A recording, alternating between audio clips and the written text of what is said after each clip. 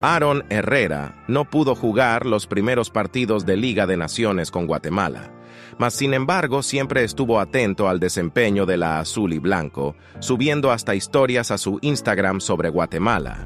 Herrera cada vez se siente más guatemalteco que nunca.